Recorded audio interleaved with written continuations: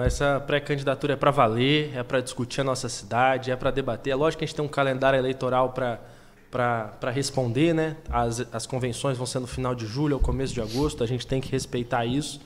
Mas diante de toda a repercussão que teve, são quase 40 mil visualizações, mais de 1.700 curtidas, quase 400 comentários. No vídeo de lançamento, você está falando. De pessoas é. que apoiaram, que acreditam e que estão entusiasmadas, tanto quanto eu, na construção de um projeto de cidade.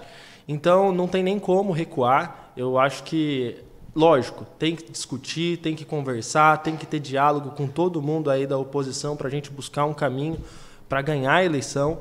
Mas eu acho que a gente precisa estar tá junto. Então, é, eu acredito que estando junto, dialogando, a gente vai conseguir construir um caminho melhor.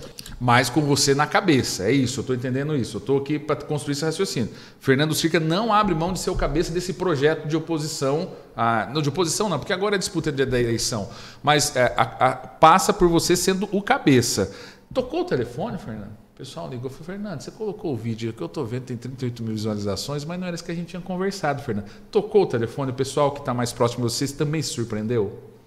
Olha, de certa forma, sim, mas todo mundo meio que esperava já. Você já... não avisou, você só, tipo assim, você fez uma coisa muito interna. Isso, o lançamento da candidatura foi uma decisão do Partido Democrático Trabalhista unilateralmente. É lógico, a partir disso, meu telefone tocou, a gente vem conversando com todo mundo, dialogando, mas a candidatura está posta. Respondendo a sua pergunta mais objetivamente, Jerônimo, eu acho que, diante do projeto que eu venho construindo, diante do mandato que a gente construiu na Câmara, da eleição para deputado, que construí essa eleição para deputado sem o apoio quase de ninguém, foi na sola do sapato, na conversa, no diálogo mesmo.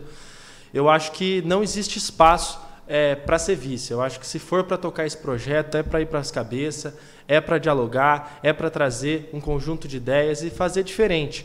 Então, eu vou dialogar com todo mundo, a gente vai buscar fazer uma composição, mas eu vejo que dentro do que está posto hoje, não existe espaço para ser vice, porque eu entendo que o projeto que a gente vem fazendo não vale a pena largar a mão do, de todo esse legado que eu venho construído na Câmara, de todo esse trabalho que vem sendo muito bem feito de fiscalização, é, para ocupar uma vice. Se for para sair desse projeto no legislativo, é para tocar um projeto de cidade, é para liderar e construir um movimento político aí para a gente colocar a CIS nos trilhos do desenvolvimento novamente.